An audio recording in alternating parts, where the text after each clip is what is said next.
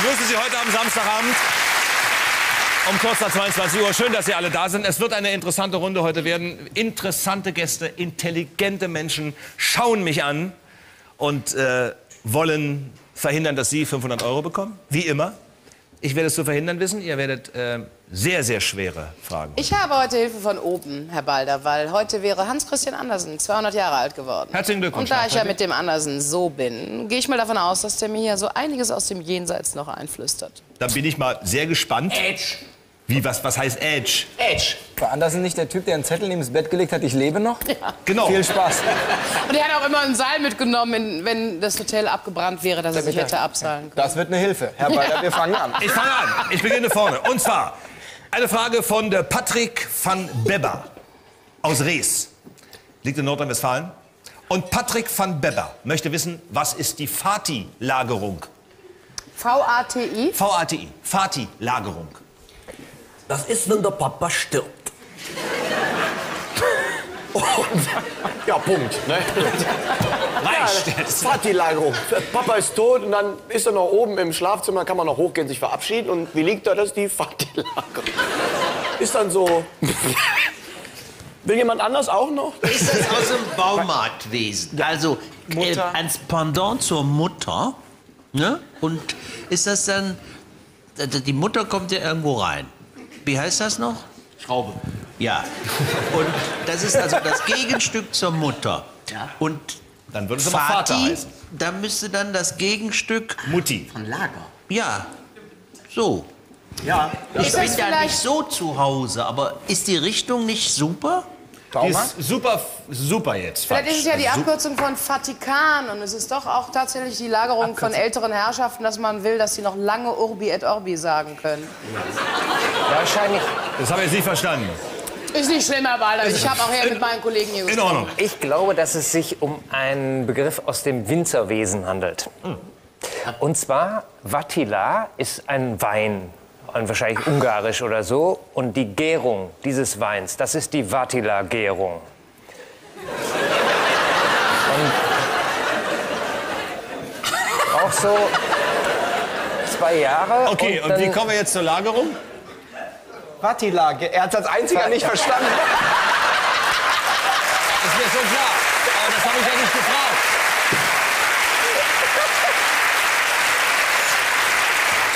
Ich habe ja nicht von Gärung, ich habe ja von Lagerung gesprochen, nicht von Gärung. Vatila-Gärung.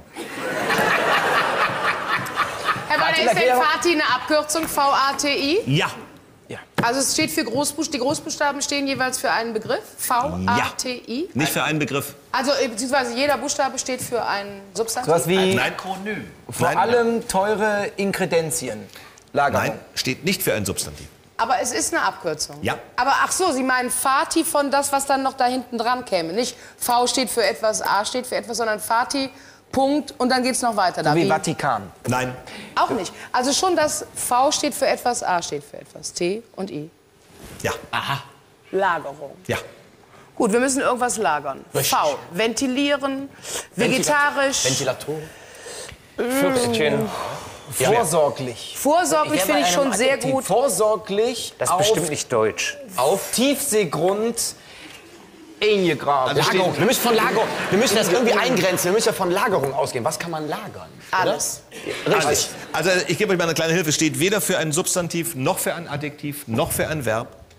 Was hier So viele noch? Bindewörter gibt's doch gar nicht. Vor, von alter Tradition Nee, ist ja schon. übernommen und dann ist im, im Laufe der Zeit auch ein Stück von dem U weggebrochen, sodass nur noch ein I geblieben ist. Lagerung. Na, sehr schön. Falsch. Vor allem teuer in der Lagerung.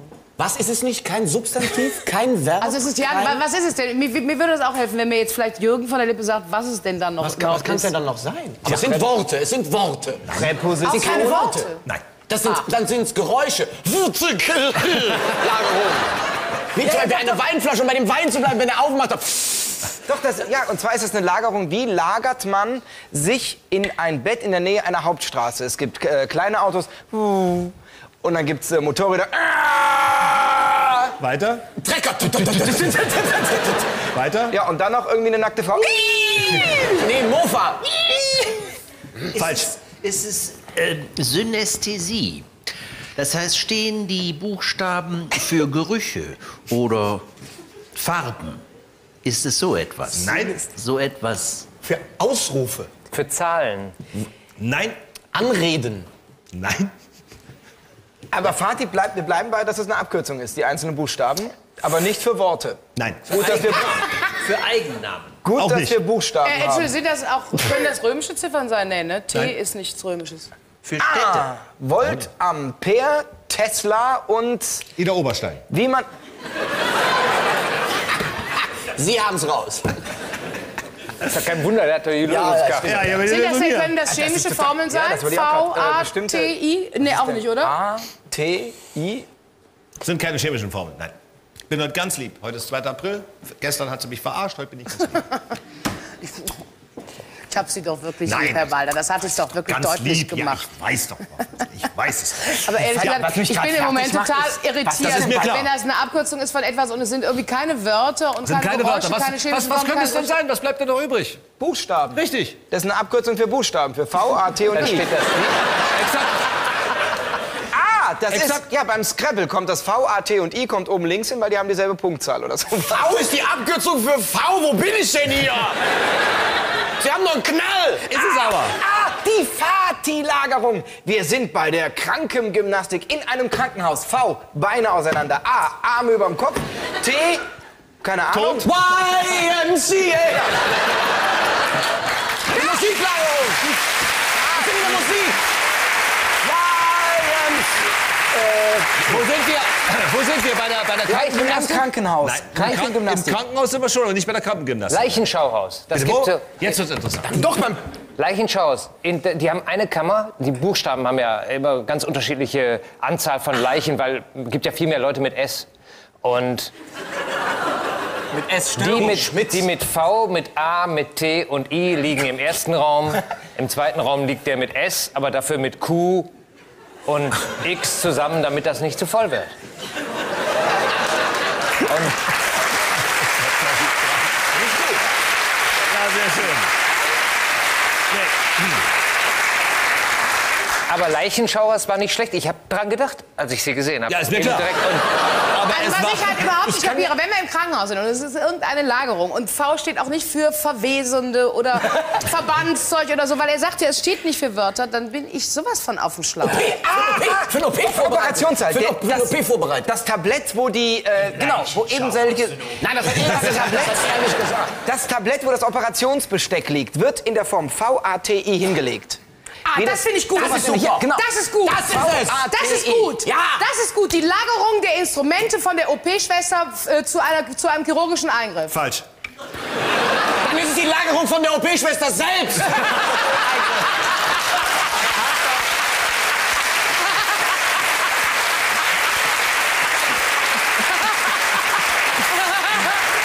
Was wird denn gelagert? verdammt? Also es liegt, Leichenschauhaus Nein, gesagt. aber er hat's gesagt. Ich nicht. Aber Krankenhaus hatten Sie gesagt. Sehr interessant. Ich habe es sehr interessant, aber er hat nicht gesagt richtig. Nee, das ist hier anders. wenn du auch nur hoffst, hier Also bekommen. ist es nicht, sage ich euch. Aber es ist Krankenhaus. Es ist Also, Krankenhaus. Im wenn es die Lagerung vielleicht doch von Akten ist und es geht wirklich nur um die Buchstaben, also V, A, T, I, es geht um eine bestimmte Reihenfolge, wie man Akten oder äh, Krankenvorfälle, äh, Krankheitsvorfälle ablegt im Büro eines Krankenhauses. Verletzte. Das Oder im Akten oder im Keller, wo man eben. Verletzte. Also wissen Sie, was ich meine? Ich Weil weiß ja. Es geht ja nicht um Wörter, es geht ja scheinbar nur um den. Buchstaben an sich. Also geht es um die Reihenfolge, Aber wie es man geht nicht etwas. um Akten. Aber es geht um die Reihenfolge, wie man etwas lagert in einem Krankenhaus. Auch Die nicht um die Form. Reihenfolge. Um die Form. Es geht um die Form. Wie man Ah, Patientenform. um die Form? Wie man Patienten vorbereitet für die OP. V ist dann, wenn man einen gynäkologischen Eingriff. T ist. Ihr Lieben, ich sag's euch mal. Beim Ja, I bitte. Ich sag's, ich sag's euch mal. Ihr seid zwar nah dran, aber ich glaube, ihr kommt nicht drauf. Es ist ein Fachbegriff aus der Krankenpflege. Um bei bettlägerigen Patienten wegen eingeschränkter zu flacher Atmung einer Lungenerkrankung vorzubeugen bzw. eine Lungenerkrankung zu verhindern, werden im Rückenbereich Kissen untergeschoben. Die Kissen werden wie ein V gelegt oder wie ein A von oben nach unten oder wie ein T oder einfach nur wie ein I. Ja. Und dadurch erweitert sich der Brustraum, die Lungenaktivität wird verstärkt. VAT und I-Lagerung der Kissen ergeben abgekürzt die Fati-Lagerung. Das ist es. Ihr wart nah dran, gewusst Das ist aber das nicht. jeweils nur ein Buchstabe. Es wird nicht alles zusammen Es wird nicht gemacht. alles zusammen gemacht. Nein. Fati-Lagerung. Patrick van Beber, 500 Euro für Sie. Gratuliere. Sehr gut.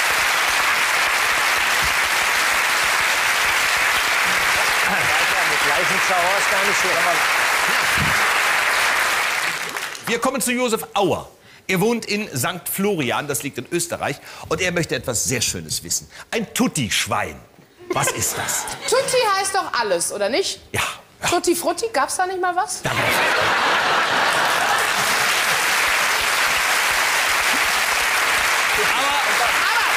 könnte schwören. Wir reden ja Ich nicht von Tutti Frutti. Der Einschreiber es darauf angelegt hat, dass ich jetzt hätte sagen sollen, Herr Ball, da waren Sie nicht mal ein Tutti-Schwein. Aber das hätte ich jetzt niemals gesagt. Nein, nein, nein, nein. Dann wäre es ja ein Tutti-Frutti-Schwein gewesen. Eben. Ich rede ja nur vom Also Tutti-Schwein. Tutti heißt ein Allesschwein. Ein Schwein, an dem alles dran ist. An dem alles benutzt wird. Ein Schwein, das wirklich Ist komplett nachher aus weg ist. dem Orchesterwesen. Aus dem Orchester. Cosi fan tutti. Genau. Das ist, wenn, wenn alle spielen, das ist ja ein Tutti. Ja. Und das Tutti-Schwein ist die Sau, die nicht mitspielt.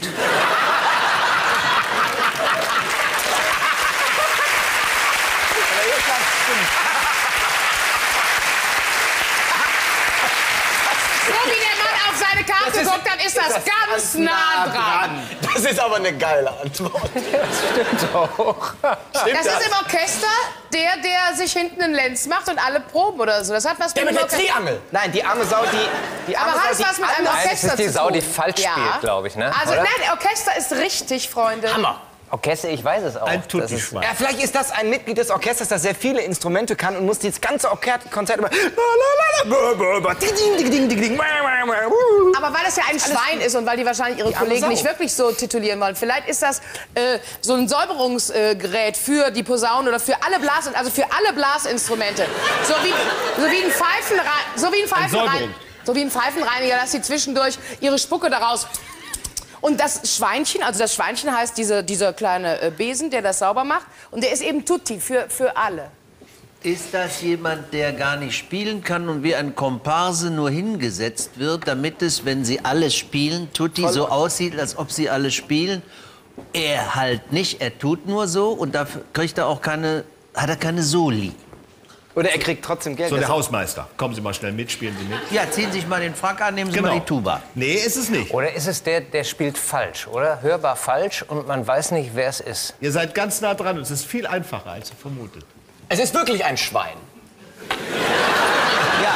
Das ist das Einfachste. Sitzt ein Schwein im Orchester und guck mal, das ist unser Tutti. Vielleicht ist das, ist das Tutti-Schwein einfach nur die arme Sau, die die ganze Zeit mitspielen muss. Die hat halt keine Pause. Ja, genau. Wenn es so einfach ist. Es heißt ja Tutti-Schwein. Das hat ja was zu bedeuten. Was, heißt, was ist Tutti jetzt? Was ist Tutti Alle, jetzt? wenn sie alle spielen. Alle. Wenn sie sind- alle spielen. Das sind die, die keine Soli haben, sondern einfach an der Ecke sitzen und nur dran dürfen, wenn die anderen alle auch alle auch dürfen. spielen. Welche Instrumente sind das meistens? Geigen. Pauke. Richtige Antwort. Ach, geil. Ah. Dieter Mohr, du hast es gesagt.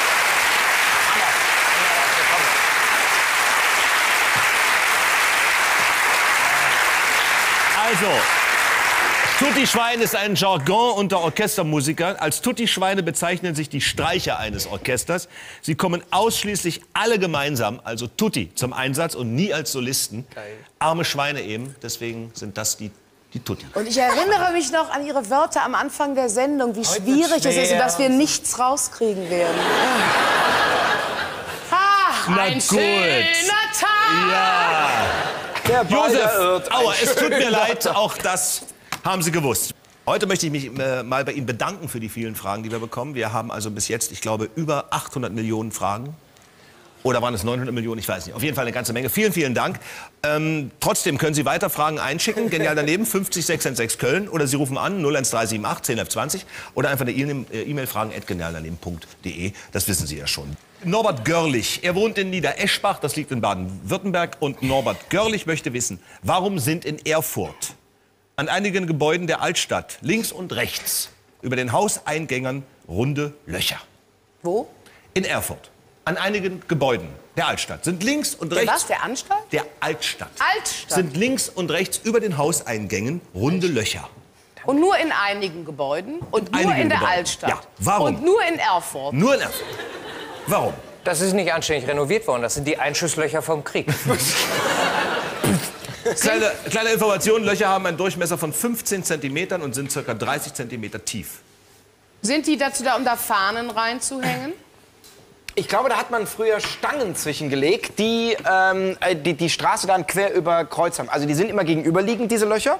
Man hat dann da irgendwelche Stangen zwischengemacht und konnte dann aufgrund irgendwelcher Festlichkeiten, wie zum Beispiel das Erfurter Straßenfest, konnte man da dann Sachen draufhängen und damit wurde dann gefeiert. Was wurde da äh, rangehangen? Schweine. Schinken. Und dann, ja, Schinken zum Beispiel, genau. Und dann sind die auf Pferden da lang geritten und mussten so die Stücke so, so rausbeißen. Aber das finde ich gut für so traditionelle Reiterspiele. Ja, ja. So Sandsäcke, damit die mit ihren Lanzen da dran und wer zu äh, groß war, ist immer so Puma, Puma, Puma. Nicht, nicht Reiterspiele. Aber es geht um Festivitäten und es geht um Spiele und es geht darum, da Stangen zu befestigen, an denen etwas hängt. Nein. Aber es geht um Folgendes. Wir haben doch alle in der Schule mit Strohhalmen, wir haben so kleine Dinge ausgerissen, so Kügelchen gemacht, die eingenässt äh, genässt und dann haben wir die äh, auf andere Leute warst gespielt. Ich war das. Und, und das haben die, da, sind so, die ganze Stadt Erfurt ist ausgeflippt und hat das bis zum Exzess betrieben und irgendwann haben die große Häuser gebaut, haben riesige Kugeln gemacht und sitzen dann immer über ihren, drinnen vor der Tür immer und dann geht's über die Straße auf die andere, die haben sich dann gegenseitig beschossen mit diesen, Ja, die mussten lange kauen, also die, Erfurt ist Thüringen. Hat es etwas mit Thüringer Bratwurst zu tun? Hingen an diesen Stangen Thüringer Bratwürste und der, der die meisten, der Bürger, der die meisten Bratwürste aß, wurde Schützenkönig. Warum? gegen Ende bin ich dann ausgestiegen. Nein, es gab auch keine Stangen. Muss, kann man da was reinwerfen? So was von oben, äh, von wegen Reiter, die haben dann da oben was rein, vielleicht aus der Ursprungszeit. Ja, was denn? Was sollte man denn da reinwerfen? Essen. Was? Also 30 Trauben. Zentimeter tief. Vielleicht gab es, äh, ah, vielleicht war das so ein System, äh, das waren Häuser, die wurden vermietet an bestimmte Werkstätten. Und wenn da gerade mal ein Schreiner drin war, wurde so ein Schreinersymbol so da oben reingesetzt. Oder wenn dann jemand anders reinging, raus. Ich frage mich, ob es aus dem rein. Mittelalter ist, dass da in der Tat aber etwas befestigt wurde, um Menschen zu bestrafen. Also um Menschen zum Beispiel daran aufzuhängen, so wie an den, Pranger, an den Prangerstellen. Die hingen aber dann ein paar Stunden vor ihren Aber Häusern. wozu und- waren denn dann die, die Löcher links und rechts? Ja, um da Stangen reinzustecken, damit da die Probanden dran festgehängt werden. Habe aber eben schon gesagt, keine Stangen. Stangen könnt ihr Thüringer komplett Wald ausschließen. ist das Stichwort. Thüringer Wald. Thüringer Wald, Thüringer Wald. altbekanntes Jagdgebiet. Und Ja. Die Thüringer sind oft nach Bayern gefahren, haben da gesehen, dass diese Köpfe an der Wand hängen. Diese, welche Köpfe? Die, diese Hirschköpfe oder so ausgestopfte Hirschköpfe. Und die Thüringer haben gesagt, das machen wir bei uns auch, haben aber nicht gecheckt, dass auf der anderen Seite der Hirsch nicht mehr dran war. Trotzdem haben sie Platz dafür geschaffen.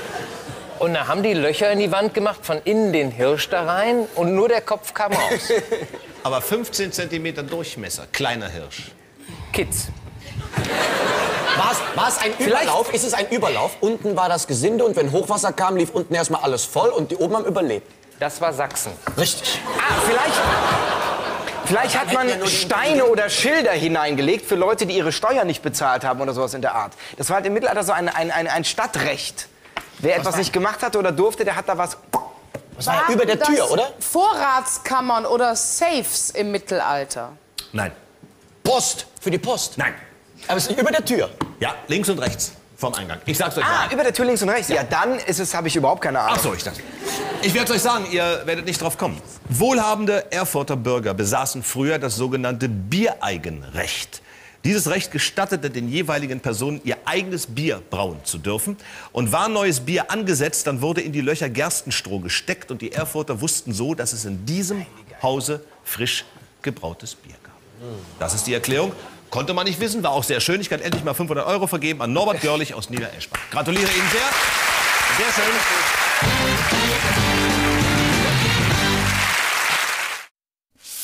Girokonto mit drei.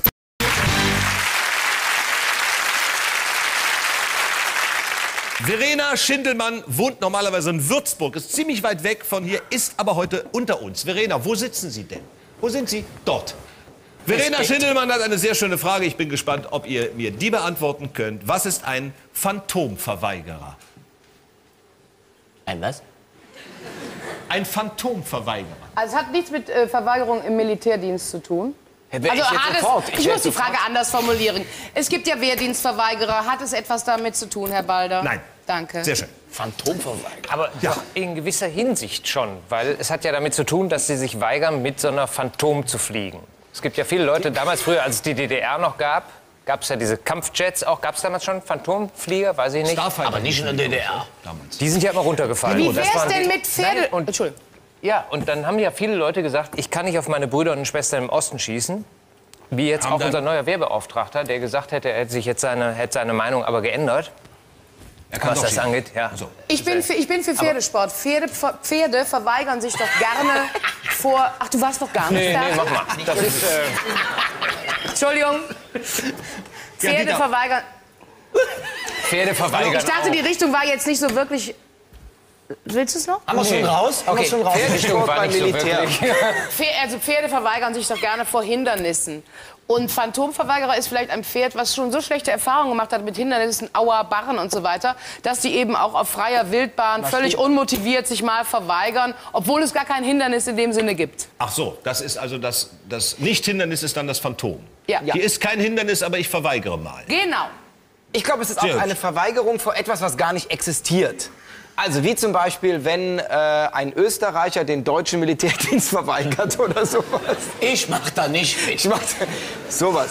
Äh, Kann es was mit der Psychotherapie zu tun haben? Zum Beispiel? Dass zum Beispiel jemand auf der Couch liegt und sagt, ich sehe Leute. Und sagt der andere, nein, Sie sehen keine Leute. Ich weigere mich, das zu glauben. Ich weigere mich, das zu glauben, dass Sie Phantome sehen. Das wäre dann aber der Psychiater. Kannst du woanders hingucken, das macht mich nervös. Aber sind wir denn in der Medizin, weil es ja Phantomschmerzen gibt?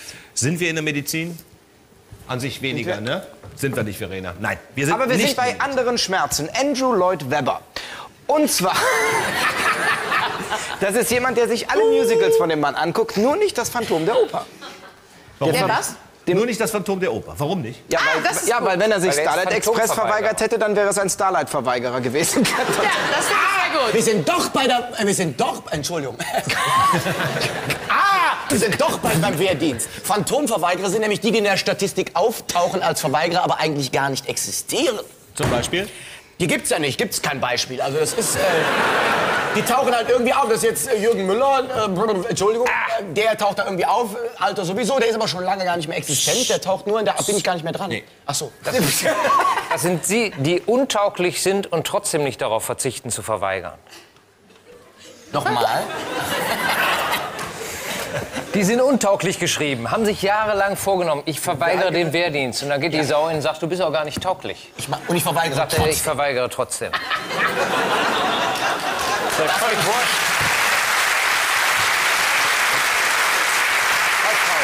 Heißt ja jetzt mal. Ganz toll. eingezogen werden.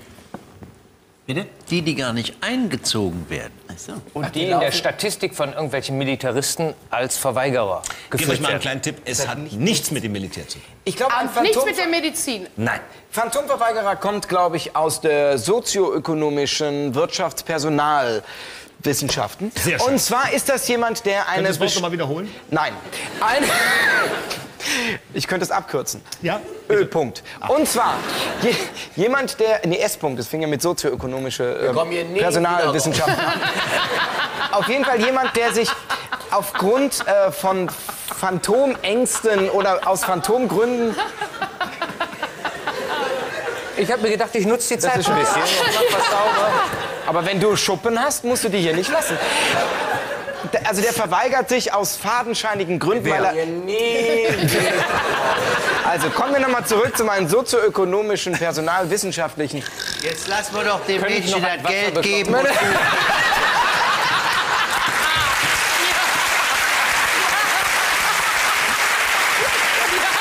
Ich glaube auch. Ich weiß es. Ja. Es ist ein Schmetterling. ja. Schöner Name. Guck. Aber das ist gut. Insektenreich ist Insektenreich richtig? Nein. Tiere, Pflanzen. Es hat was mit Tieren zu tun, das ist Wie richtig. man sieht. Säugetieren, Herr Balder? Oh ja, oh ja, oh ja. Chamäleon. Bitte? Ein Chamäleon. Gute, gute Sache, Chamäleon. Aber falsch. Ja. Ja. Siehst du, so geht das. Es ist ein Männchen, das den Geschlechtsverkehr verweigern will, obwohl kein Weibchen da ist? Umgekehrt. Es ist ein.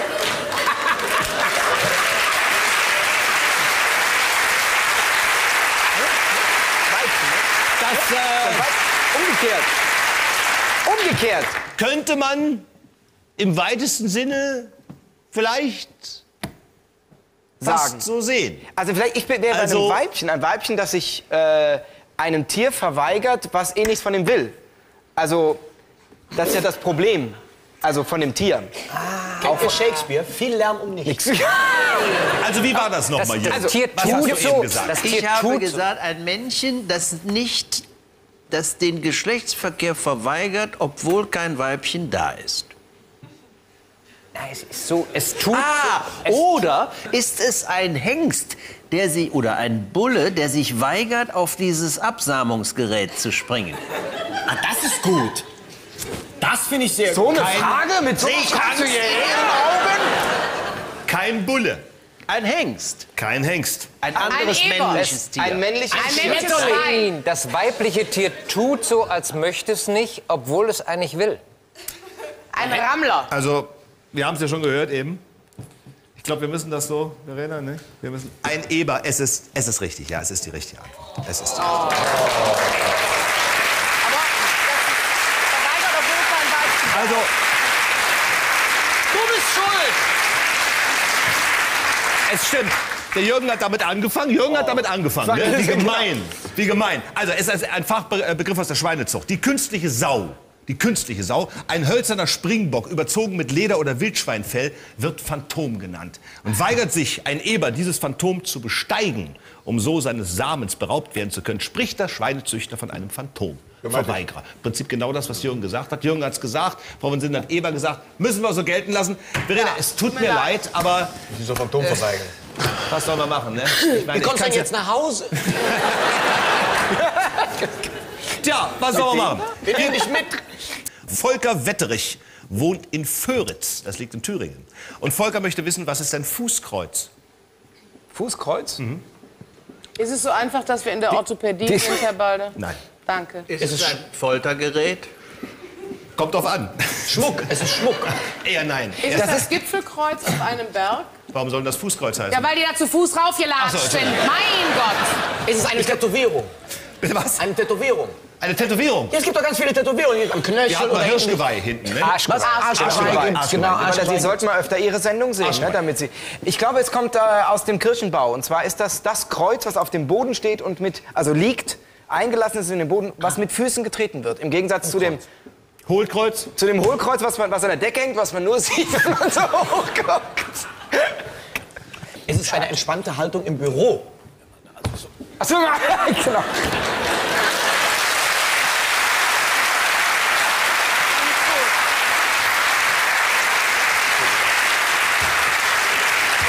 Ist es etwas Richtige Antwort, ne, Herr Balde? Es hat, es hat sogar was im ganz weitesten Sinne vielleicht auch mit Büro zu tun. Ah, es ist etwas aus dem, aus dem Buchhalterwesen. Nee. Zinsfuß.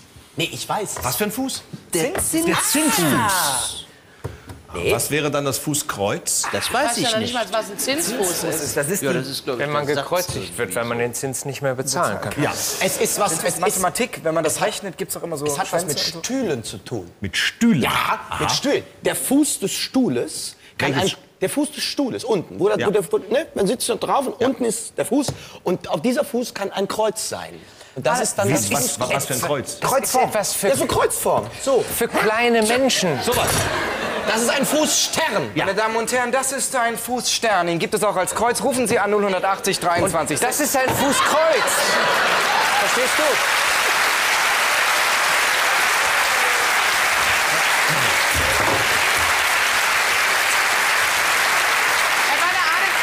Ist es. Entschuldigung, dürfte ich da, dürfte ich da noch mal einhaken bei Schmitz? Ja, immer. Richtige Antwort.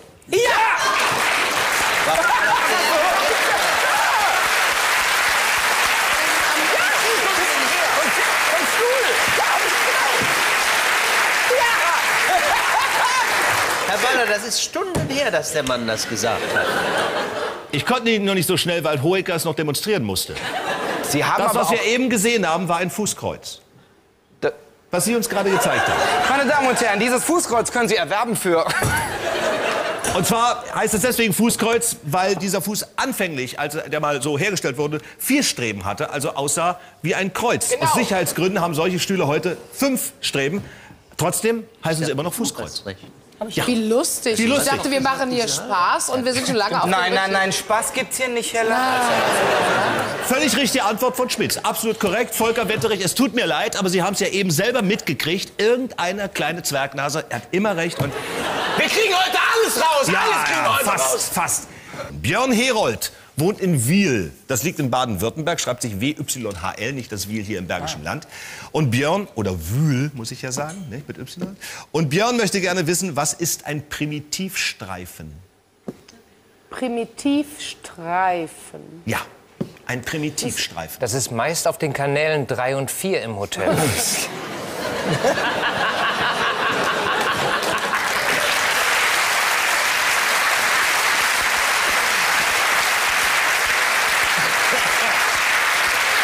Also ich bin dafür, dass das äh, ein kleines Im lustiges... aber, Interconti 2 und 4. ja, jetzt wissen wir ja alle, dass ihr Pornos guckt. Ist es jetzt gut, Männer?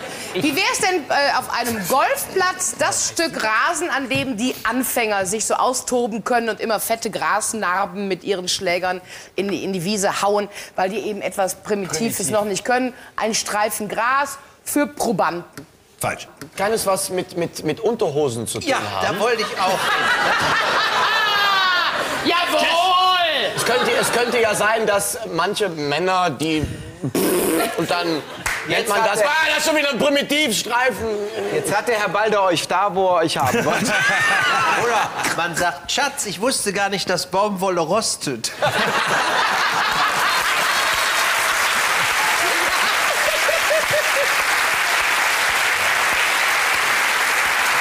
Alle falsch. Ich bin in der, ich bin in der Evolution, ich bin in der Anthropologie, ich bin bei primitiven Lebensformen, als der Mensch noch relativ primitiv, äh, auf, vielleicht sogar noch auf vier Beinen, am Anfang war das Feuer, sich bewegt hat. Und Primitivstreifen sind irgendwelche Ablagerungen entweder in Gestein oder bei Höhlenmalereien, wo die noch nicht so schön die Stiere gemalt haben, sondern so tump erstmal so ein bisschen mit Steinen an der Wand rumgeschmiert haben. Und deswegen nennt der Höhlenforscher, respektive der Anthropologe, das Primitivstreifen. Ganz weit weg. Ich glaube, es hat was mit. Autofahren zu tun. Ich habe es. Ehrlich? Ja. Jür Jürgen Drews. Jürgen Drews hat sich doch unbeliebt gemacht bei seiner Kundschaft. Vielleicht hat er Ballermann den Primitivstreifen genannt. Ich glaube, das war noch schlimmer, was der gesagt hat, oder? Ja, ja. Dann hat es was mit Autofahren Ist es denn richtig? Nein, es ist nicht richtig. So an der Ampel und dann, äh, rennen, rennen, ja. Dann bleibt auf der Straße so ein Primitivstreifen. So ein, so ein, ah, nein, so ein Nein, der Oder es ist Primitivstreifen auf der Helligstreifen an Türe. dem Nee, Genau. der tiefer gelegten Manta. Ja, noch besser. Nee, Primitivstreifen, das sind die Polizisten, die die Leute dann, also die primitiven Leute dann verhaften. Nee, ich ich, sage, weiß, ich weiß die was. Ich weiß Primitivstreifen.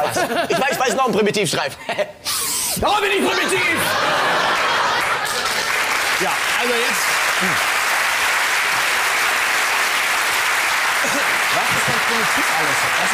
Ich glaube, ich sag's euch mal. Polizei stimmt aber. Polizei ist ganz falsch. Ich sag's euch Und mal, ihr seid ganz, ganz weit weg. Ganz weit weg. Es ist ein Fachbegriff aus der Medizin. Abteilung Embryologie. Aus einem befruchteten Ei entsteht nach zwei Wochen die ovalförmige Keimscheibe. So heißt das Ding, über die quer ein sichtbarer Streifen verläuft. Dieser Streifen legt die Körperlängsachse des Embryos fest, definiert also, wo später mal oben und unten ist, wo später mal Kopf und Beine sind. Und dieser Streifen ist der sogenannte Primitivstreifen. Primitiv, weil abgeleitet vom lateinischen primitivus ursprünglich, hier im Sinne von körperlichem Ursprung des Embryos. Ja, sehr geil. Den hatte ich Wunderschön. nicht drauf gekommen, Freunde. Wunderschön. 500 Euro für Björn Herold. Herzlichen Glückwunsch. Sehr schön.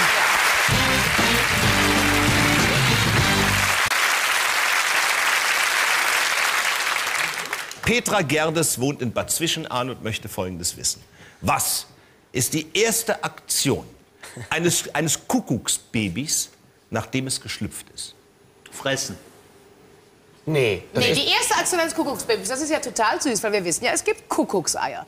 Deswegen, weil die immer in fremden Nestern abgelegt die schmeißen werden. Das heißt, der. Kuckuck, das Kuckucksbaby, das guckt sich um und denkt, wo bin ich denn? Eichel her, uh, Amsel. Die- nee, nee, nur, die nur aufgrund der Federn, in welchem Nest es sich befindet, um direkt in deren Sprache kommunizieren zu Ja, können. es ist ähnlich romantisch. Und zwar ist es so, das schlüpft aus und schmeißt alle anderen runter, dass es das Einzige ist. Ja. Korrekte Antwort. Oder so. Oder so, aber wirklich war nicht. Und zwar alles, was im Nest ist. Sowohl Eier als auch andere Jungvögel. Eltern auch? Wenn die da sind, wahrscheinlich auch. Keine Ahnung. Es und will, nach der Aktion werden die dann von den fremden Eltern noch ja, gefüttert? also es will mit niemandem seine Nahrung teilen müssen. Also schmeißt es alle anderen Eier aus dem Nest und auch andere Jungvögel, Ja. wenn die da sind, bis es allein im Nest ist. Und dann lässt es sich drei Wochen von seinen unfreiwilligen Adoptiveltern füttern, bevor es abhaut. Boah, was ist das denn eine fiese Charakter, der Kuckuck? Ja, vor allem schlimm ist, da kommt so ein kleiner Spatz, der muss ja nicht so gut, der wird riesengroß und fett und dann muss den immer wieder füttern. So ein riesen Kuckuck sitzt dann in dem Nest. Das ist gemein. Das ist gemein, ne? Das ist richtig. Ja, Petra, es tut mir leid, aber das war die richtige Antwort von Bernhard Hoeker. Jetzt bin ich sehr gespannt. Ich zeige euch mal ein Foto. Ich kann es auch gleich mal rumgehen lassen. Das wäre schön, weil ich habe meine Brille nicht auf. Dieses Foto, meine Damen und Herren, zeigt, Europas schönste einen- zeigt einen Streckenabschnitt der Schweizer Regionalbahn von Neuchâtel nach La Chaux-de-Fonds. Und jetzt die Frage dazu von Joachim Speter aus Neuchâtel. Warum stehen an einem Schweizer Bahngleis, an diesem hier, zwei Metallpfosten mit jeweils vier horizontal abstehenden Besen? Das Warum? ist lustig. Das ist die machen immer die, die Nummer von dem Zug sauber. Dass die, ja, nee, der, der Zug an sich hat an der Seite ja immer Namen stehen, wie er heißt oder Nummern. Und die machen den schön an. Ja. Können Sie das bitte weiter rumgeben? Nein, nochmal nein, bitte nein, das nein, Ja, natürlich. Ich, äh, Äh, die machen das immer, wenn der, wenn der Zug da einfällt. Wobei dahinter kommt, glaube ich, ein Tunnel. Ja, es ist ganz anders. Da Es kommt ist, ein äh. Tunnel. Ist ganz anders. du, äh, du hast äh, Neuchâtel, Neuchâtel und La Chaux-de-Fonds. Ja, Ja, zwischen Neuchâtel Beides und Städte, La Chaux-de-Fonds. Zoo gibt. Wo es äh, große Zoo, ja, sehr schön. äh, großen Zoo gibt und äh, wahrscheinlich werden die Tiere ab und zu hin und her transportiert und um diese Zeit sinnvoll zu nutzen, lässt man die aus dem Fenster rausschauen und putzt denen dabei die Zähne. Sehr hübsch, ja. Ich glaube, ich habe auch, ich hab auch so eine ähnliche Idee. Ich glaube, es ist eine Barbierstrecke. Wenn man sich schlecht rasiert hat, da kommt dann noch Schaum dran. Und dann kann man so raus, als Mann, auch raus, das Gesicht halten vor dem Tunnel. Dann wird man eingeseift. Dann durch den Tunnel wird das weggerubbelt in, in den Tunnel. Und wenn man rauskommt, steht da so ein großer Eimer. Wie so eine Waschanlage. Ja. Ja, Es ist im Grunde noch Es anders. ist eine Ja? Für Kinder, die aus dem Fenster gucken und sonst nicht hören, kriegen die von dem Besen eine gewischt und gehen wieder ins Abteil Innere. Ja, Warte, kann warte. sein. Ah, der, der Blick, der Blick. Das ist nah dran. Das ist Wenn es nicht schon richtig ist. Der Freunde! Tunnel ist sehr schmal. Nur für Kinder? Nein, für alle. Alle Passagiere, Für die alle Passagiere, die aus dem Fenster gucken. Richtige Antwort, ja.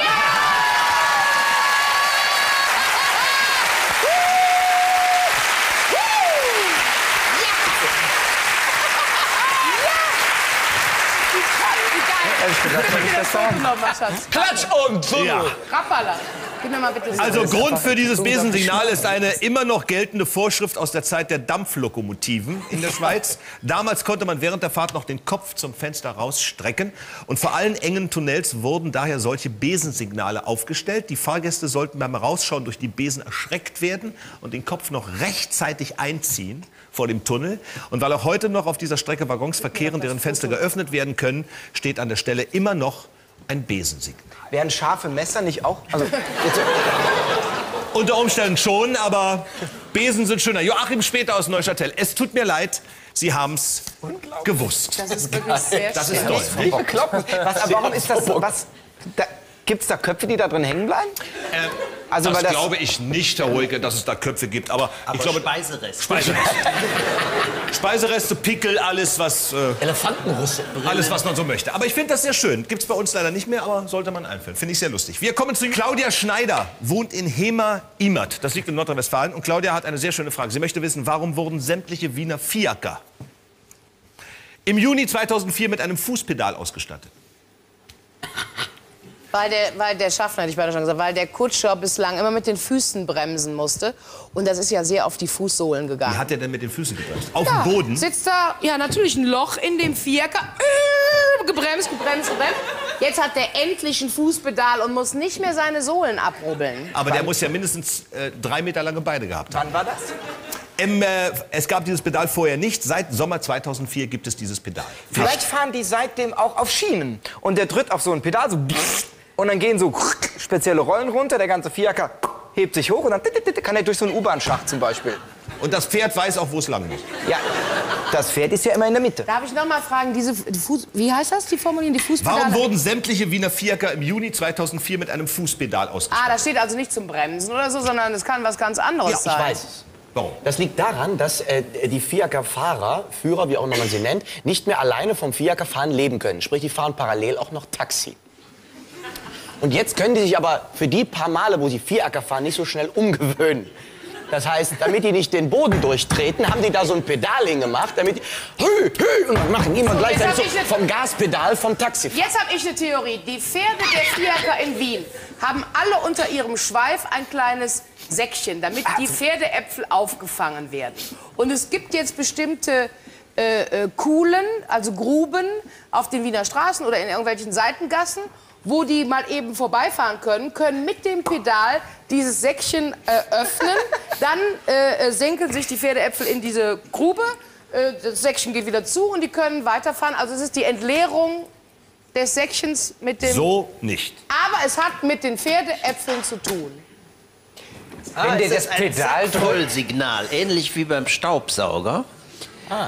Ein, wo ja ein Birnchen aufleuchtet, wenn der Sack voll ist. Also wenn der Fiaker-Fahrer sieht, der Sack hinter dem Pferd ist voll. Was wäre das schön, wenn es das auch bei Männern Ja. gäbe. Ne? So Samensprache, die kleine sehr.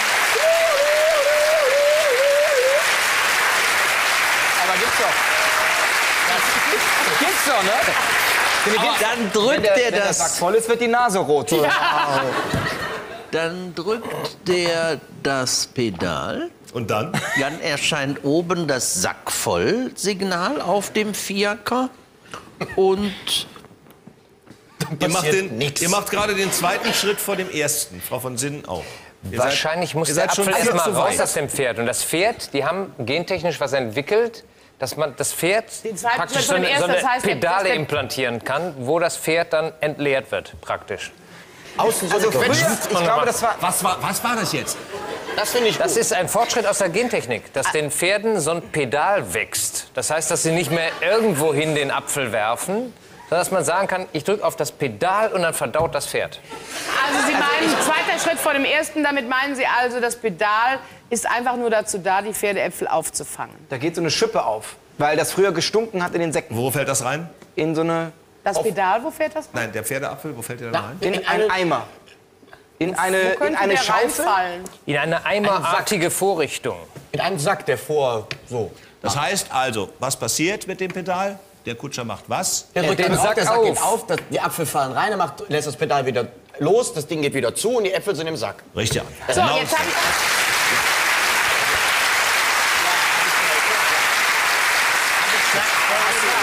Genau auf die Antwort bin ich aber zuerst nicht gekommen. Deswegen habe ich gedacht, es geht um Entsorgung. Denn woher weiß denn bitte der Kutscher, dass Sieht das er. Pferd kacken Das sieht er. muss? Das sieht Der er. Der Das sieht er. Ist an Meter weg, das, Das sieht sieht man. Das sieht er. Das Pferd Wenn das Pferd den, auf. den Schweif annimmt, der Kutscher sieht von hinten genau, wann das Pferd sich anschickt zu äpfeln. Ah, das sieht man. Ja, dann macht es Dann Sinn. drückt er Ja. aufs Pedal, dann öffnet sich der sogenannte Poo-Back, so heißt das Ding. Und die Äpfel fliegen rein. Und dann äh, ist die Sache erledigt. Ja, dann macht und es Sinn. an extra aufgestellten Mistkübeln können die Kutscher diese Pferdewindeln entsorgen. Hintergrund, rund 500 Kilogramm Pferdeäpfel fallen pro Tag in Wien an und fielen bis zum Sommer letzten Jahres auf die Straßen, um den Gestank loszuwerden und die Kosten für die tägliche Stadtreinigung zu sparen, müssen diese Kutscher nun alle per Fußtritt den Pubeck Na, da hätten sie aber auch mal einen Tuck früher drauf kommen können auf die Nummer. Aber vielleicht ist das dem ästhetischen Empfinden nicht so Ja, zu. hätten ist sie- so ein Sack unterm Pferdearsch. Sind sie aber nicht. Ja, dem Pferd bestimmt unangenehm, aber ist ja wurscht, nicht? Seitdem riecht Wie in ist Wien wurscht, endlich wieder ist nach Abgasen. unangenehm, ist es doch Ja, nicht ja, ja, aber das Pferd Nee, gewöhnt sich doch dran an so einen Sack. Haben wir Ja, doch Wir auch, wollen oder? es mal hoffen. Es gibt's ja erst seit... Ach, Sie haben sich auch dran gewöhnt. oder? Es gibt's ja erst seit 2004. Claudia, es tut mir leid. Wir haben's gewusst. Ja. Ja, ihr Lieben, ich hab's ja schon von Anfang an gewusst. Es wird, äh, Ich glaube, so viel haben wir noch nie rausgekriegt. Danke, Hans-Christian Andersen. ja, natürlich. Es war sehr interessant. Meine Damen und Herren, wir sehen uns morgen wieder. Und, äh, nee, wir sehen uns morgen überhaupt nicht wieder. Quatsch, heute ist Samstag. Ja, also ich fand es sehr interessant und wir haben trotzdem noch ein bisschen Geld unter die äh, Leute gebracht und äh, bedanke mich bei allen. Das war genial daneben. Tschüss. Ja, sehr gerne. Ah, so ein Einsatz geht an die Substanz. Dann